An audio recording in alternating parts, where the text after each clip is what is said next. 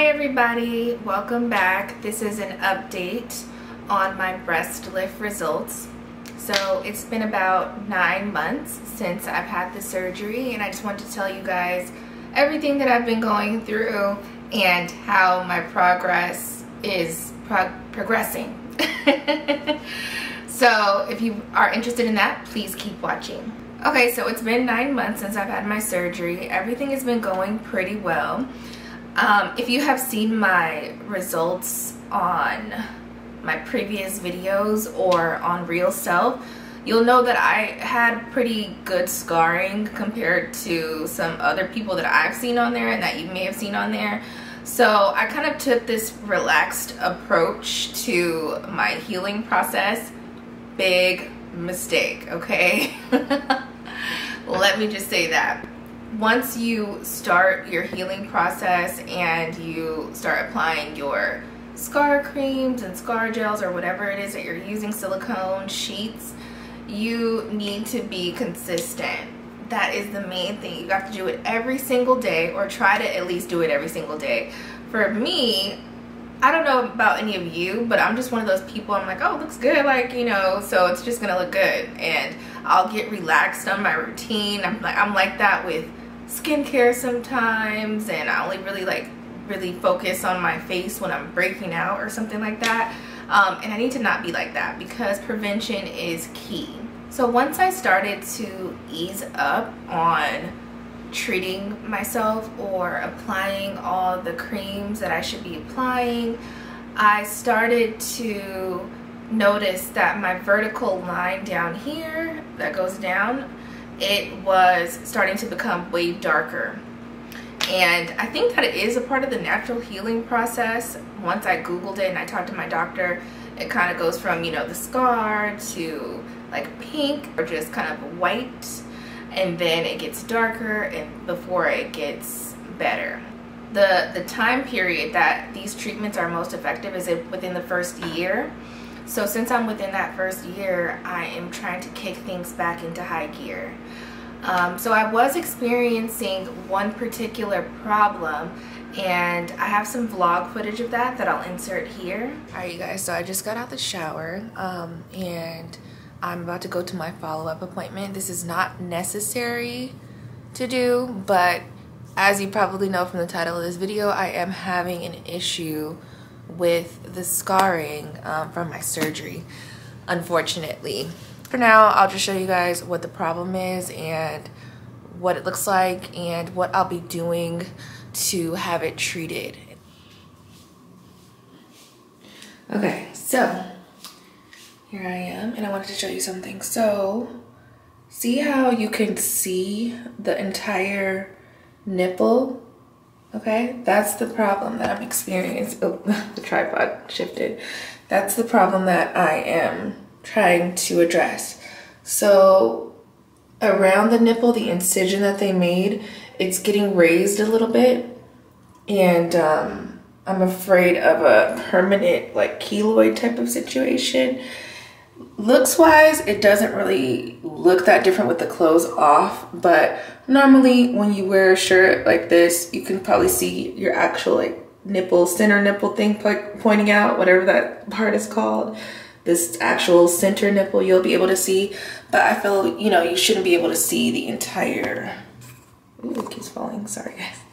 You shouldn't be able to see the entire round part so that's what I'm trying to get addressed and that's what will be injected today. So I will let you guys know how that works out for me. If you are doing this, have already done it, considering it, please be consistent with treating your scars post-operatively. Also be consistent with wearing a bra for, I want to say, for the first year because it will adversely affect, affect your results. Um, for me, I don't have implants, so my breast pretty settled in pretty good. Um, if I stand up, I can show you. So they still kind of like, they don't have that upper fullness, but to me, I mean, I think they look great. And I've always had larger breasts, so I kept my breast size but you know now my nipples are up here and it's just more full. So yeah I love the way that they settled in. I would not change a thing. But anyway back to the issues at hand. If you guys see me looking down I am looking at my laptop just to give you accurate information straight from the sources. My problem that I was having was that the area around my nipples just basically like the edge of my areola the edge part was starting to look a little bit raised. And I was worried it was because I've become so lax on my healing routine. So I contacted my surgeon well my surgeon's coordinator. She's fabulous. Her name is Misty. And she recommended that I see Dr. Richards because they provide a complimentary service called Kenalog injection. Okay, so basically the Kenalog injection is an anti-inflammatory injection that can be used to improve the appearance of raised scars, including injury scars, surgical scars, hypertrophic scars, and keloids. Okay, so I was like, okay, what is the difference between a hypertrophic, I hope I'm pronouncing that correctly, hypertroph hypertrophic hypertrophic scars. What's the difference between a hypertrophic scar and a keloid scar? Hypertrophic scars and keloid scars are raised two types of like raised abnormal scars however hypertrophic scars grow within the borders of the original wound as where keloid scars um, they can grow larger and beyond the boundaries of the original wound.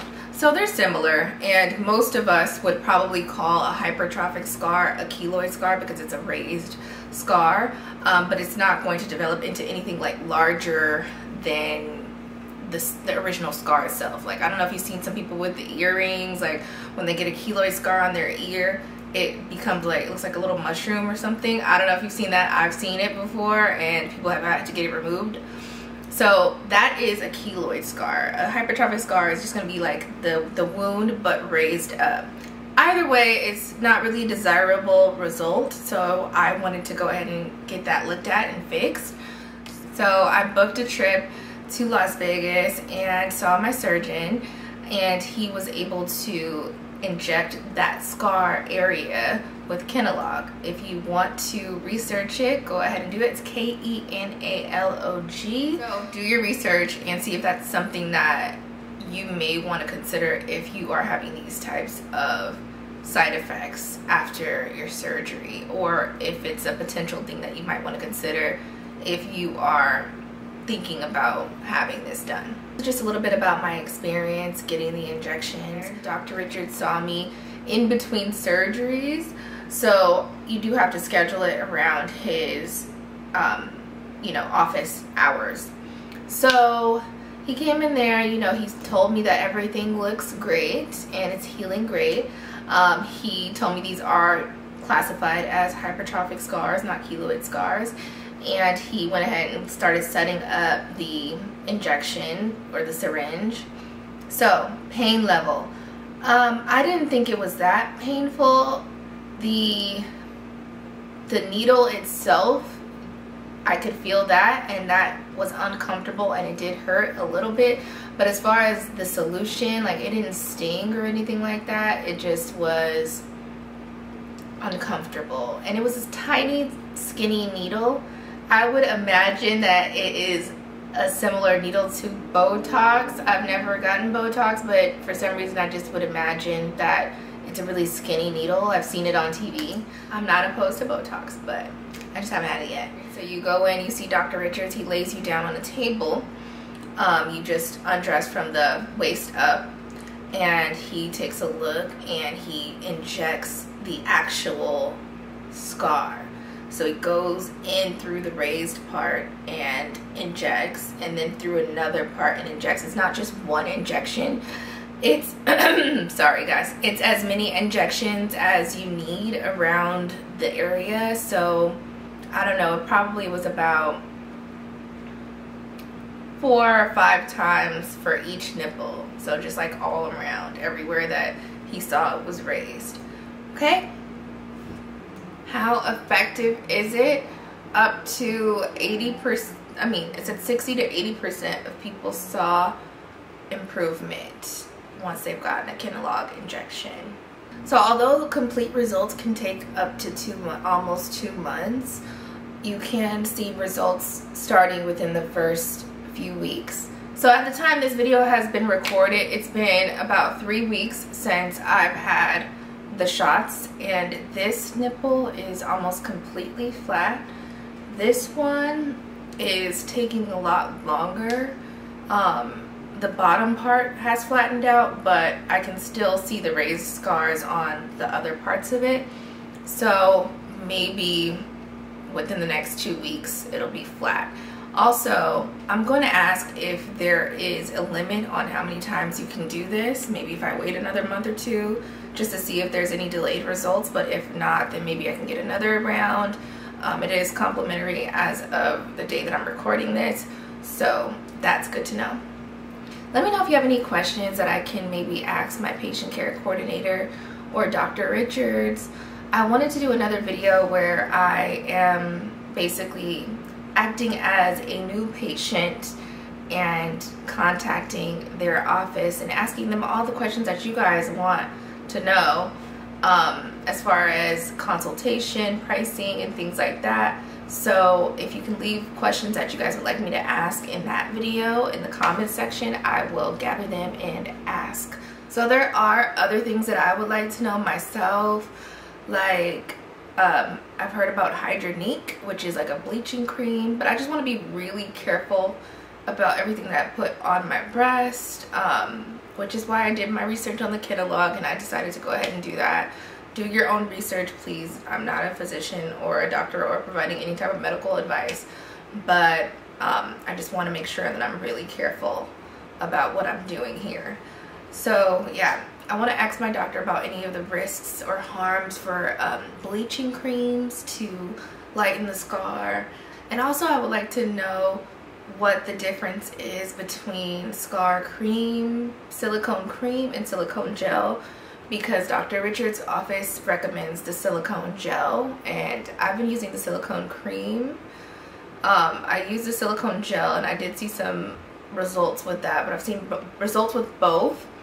And I'm not sure which one was causing my um, nipple skin to raise or if that's just something that was going to happen anyway. So these are questions that I have for Dr. Richards that I'm going to ask him. And I would like you guys to let me know any other questions that you have um, as far as preliminary questions before you get the surgery or if you've had your surgery and you have any questions um, that maybe your doctor didn't answer.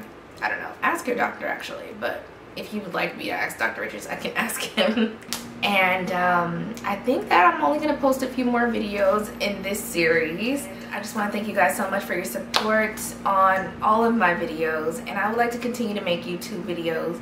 Right now I'm focused on trying to lose a few pounds. That's actually one thing that I did ask Dr. Richards and you're allowed to lose I believe up to 10% of your body fat or your body weight. I'll have to double check that without affecting your results because you know why have this done if I'm not 100% satisfied with the rest of my body so I will let you guys know what I'm doing and um, show you guys my results with that soon so I'll probably do another YouTube short wearing the same shirt that I was wearing in my you know my, my vlog part of the video to show you the results before and after maybe I'll put a side by side like uh, maybe I'll do a side by side so that you guys can see the difference. So thank you guys so much for watching and I'll see you, well you'll see me in my next video.